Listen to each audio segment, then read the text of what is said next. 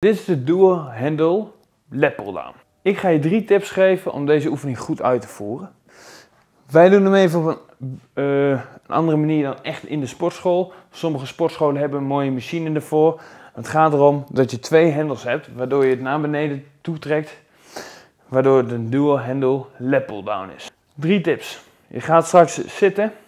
Zorg op een bankje, wij gaan op de grond zitten. Zorg ervoor dat je schouders hoog zijn. Je zakt daarna in je schouders. Je trekt naar beneden en je elleboog gaat niet verder dan je heup. Je brengt hem naar je heup. Je gaat rustig weer omhoog. Wanneer je naar je toe trekt, blaas je uit. Dat ziet er als volgt uit.